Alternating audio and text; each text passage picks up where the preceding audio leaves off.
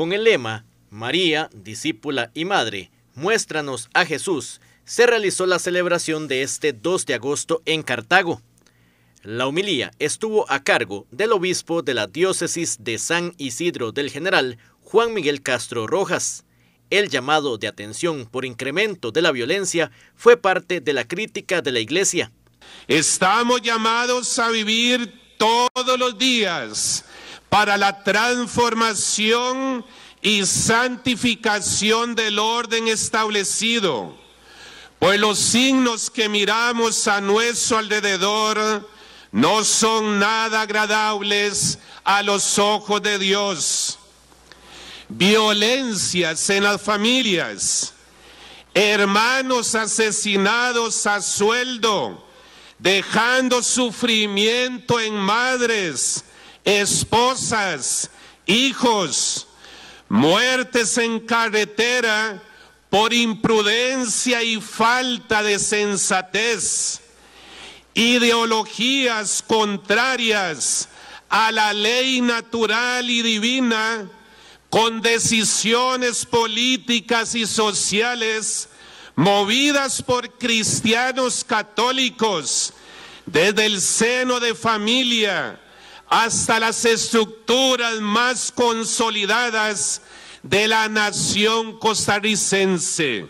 Niños agredidos por sus propios padres, ancianos abandonados por sus propios hijos, familias viviendo en condiciones infrahumanas, mientras que otras en la opulencia gracias al narcotráfico y el blanqueado de capitales en perjuicio de la dignidad humana y el respeto a las leyes de la República.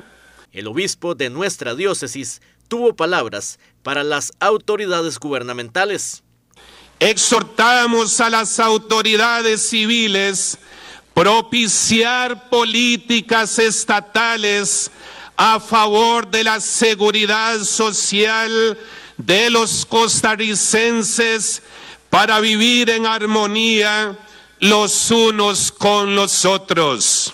Dentro de la homilía de este 2 de agosto, también hablaron de los cambios que vienen teniendo las personas y cada día menos solidarias.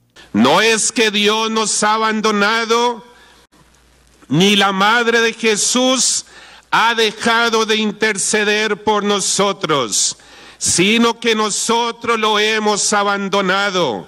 Hemos cambiado su rostro por otros rostros de dioses falsos como la opulencia, la injusticia, la desobediencia, el poder para manipular las condiciones de nuestros niños, adolescentes y jóvenes con ideologías nefastas que promueven el libertinaje y el desorden social en prejuicio de la familia y la institucionalidad del Estado de Derecho de nuestra República y cuyo origen está en la ausencia de Dios en la vida familiar y social de este país. Preferimos gastar dinero en campañas a favor de la anticoncepción en lugar de promover una sana convivencia afectiva y reproductiva. Promover leyes defensores de los derechos de los niños y adolescentes sin considerar sus deberes familiares y cívicos de manera equitativa signos reveladores que estamos alejándonos cada vez más de nuestro Dios. El mensaje terminó para que se construya una mejor nación con el esfuerzo de todos los sectores. Hoy hemos venido a la casa de la Madre y ahora le pedimos que ella se vaya con nosotros a nuestras casas y se lleve a su hijo. ¿Para qué? Para que construyamos una nación digna para todos los costarricenses y quienes vienen de otras latitudes a vivir entre nosotros para que las autoridades gubernamentales legislen a favor de los ciudadanos, los administradores sean honestos en la toma de las decisiones, los jueces sean justos en la aplicación de las leyes, los líderes religiosos anunciemos un Dios de justicia, amor y paz. Los líderes sindicales aporten al desarrollo y promoción de la persona humana y su dignidad.